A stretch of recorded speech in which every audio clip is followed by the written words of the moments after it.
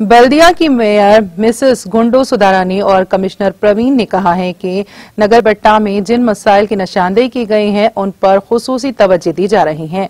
नागरा बाटा programme में जिन मसाइल की निशानदेही की गई है उनको हल करने पर खसूसी तवज्जो दी जा रही है। नागरा बाटा प्रोग्राम के एक हिस्से के तौर पर डिवीज़न 18, 13, 14, 18 में मंगल को भी जारी रहेगा।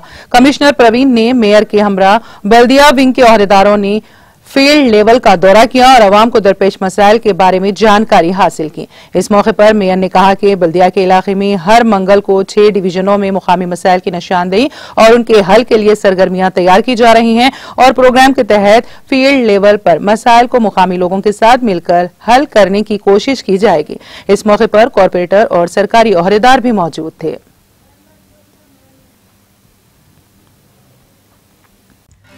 नाजरीन, हमारे टीटीवी न्यूज़ को सब्सक्राइब करें बिल आइकॉन को प्रेस करें शेयर करें और लाइक करना ना भूलें।